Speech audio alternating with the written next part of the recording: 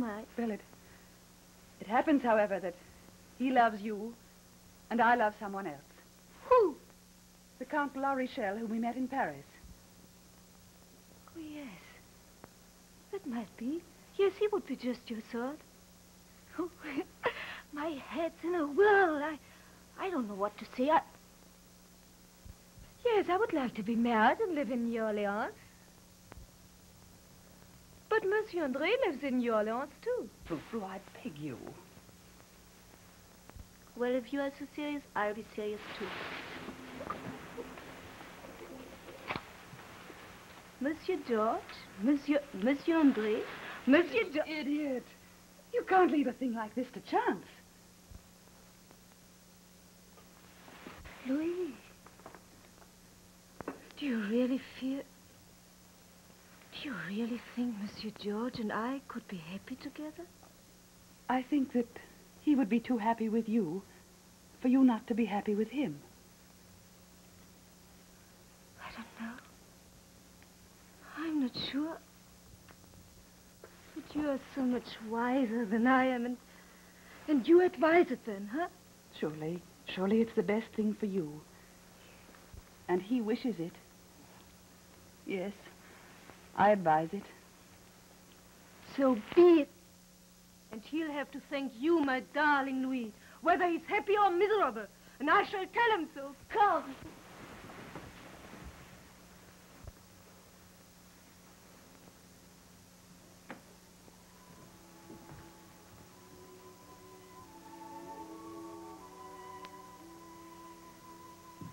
Oh, dear. There's no reason for that long face. Something to tell you which will make you very happy. Mademoiselle, you really... Yes. Yes, she'll really promise to love, honor, and obey you, monsieur. That's a great load off my mind, I can tell you. If you only knew how glad I am. Bless you.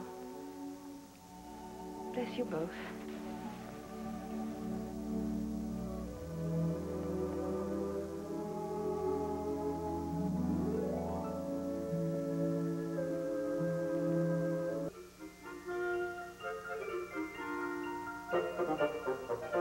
Nick,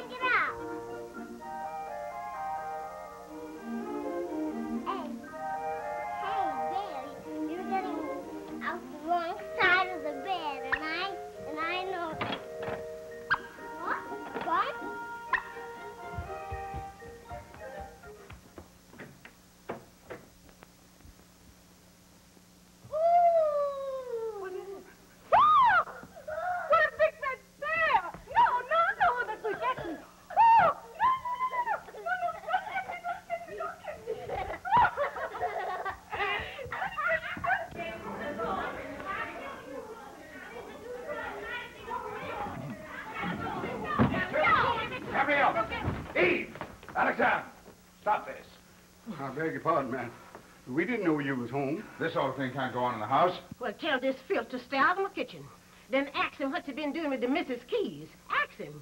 Then ask him who's been in the wine room lapping up all your good wine. Where are the keys? I put him down somewhere here steady. You know, I just picked him up. They ought to be laying around. You're perfectly right. They shouldn't. Now get back to your work, all of you. And if you can't stop this fighting, you'll all be sold, understand? Yes, Master.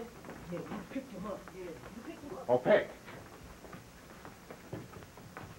This is the third morning now I haven't seen Master Georgie before going to my office. Why is that? Well, that's Sophie. She likes to sleep late. And I reckon she ain't got him dressed yet. Is she a good nurse? I expect she ain't no worse than any other city trash. Well, keep an eye on her. And the boy, too. I tries to keep my eye up on what you wear in this house, Master. But Missy too nice. That's all that's wrong here. Yes, perhaps.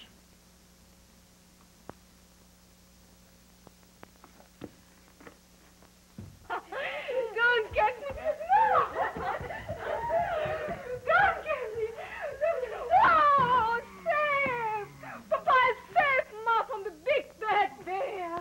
Well, this child's feet are like ice shield beds. Oh, put him in bed with me. They'll get warm. But he should have been dressed and had his breakfast an hour ago. Don't scold us. We won't listen. Oh, yes, you will. There are a lot of things I want to say to you. I hope someone comes.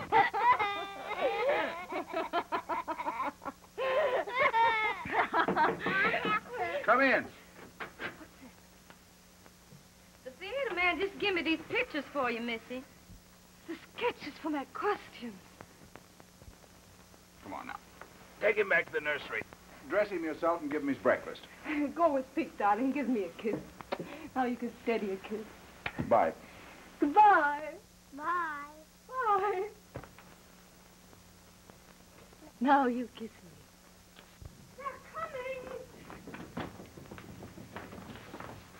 Here we are. Oh, I knew George could persuade you. And here's Georgie. Yes, come. Give Aunt Louise a kiss. No. Oh, he'll get used to you. For now that you are here, we're going to keep you. Aren't we, George? Even if we have to lock you in. Oh, that reminds me.